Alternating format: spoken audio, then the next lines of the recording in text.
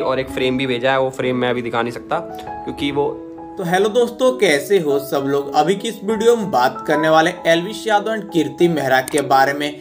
दोस्तों, यदि आप लोग एलविश यादव का रेगुलर ब्लॉग देखते होंगे तो आपको पता हो कि आज से दो दिन पहले एलविश यादव का एक ब्लॉग आया था, जिसमें एक आयुषी नाम के बंदी ने उनको एक लेटर भेजा था, जो कि एलविश यादव के एक fan page team Elvish Yadav OP को हैंडल करती है। एंड दोस्तों, उसने एक फ्रेम भी भेजा था, लेकिन एलविश यादव ने फ्रेम नहीं दिखाया था, बस उस लेटर को दिखाया था। तो सबसे पहले आप लोग उसकी क्लिप देख लो। भाई एक ये मेरे लिए लेटर जो कि लिखा है मेरे जो मतलब फ़ैन पेज हैंडल करती है एक बंदी क्या नाम? Ayushi?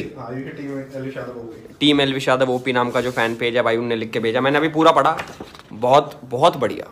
बहुत प्यारा लगा मेरे को। थैंक यू सो मच ये भी और एक फ्रेम भी भेजा है। वो फ्रेम मैं अभी दिखा नहीं सकता क्योंकि वो दूसरे कमरे में रखा है। होप यू अंडरस्टैंड, ठीक है? तो थैंक यू सो मच इसके लिए अभी हम निकल दोस्तों, आप लोगों ने देखा कैसे एलविश यादव ने उस लेटर के बारे में तो बात की, लेकिन उन्होंने फ्रेम नहीं दिखाया। दोस्तों, इसके बाद काफ़ी लोग कमेंट करके पूछ रहे थे कि आखिर उस फ्रेम में क्या था।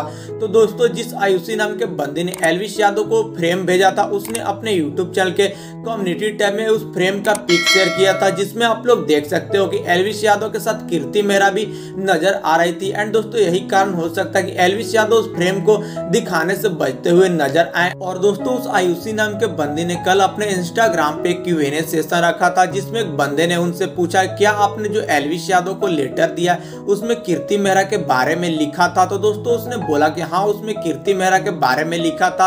एंड दोस्तों, जब एक बंदे ने उनसे पूछा, क्या दिसंबर में एलविश यादव एंड कीर्ति मेहरा शादी करने वाले हैं? तो उस बंदी ने उनको रिप्लाई देते हुए लिखा कि, आपके मुँह में घी शक्कर यदि ऐसा हो जाए तो।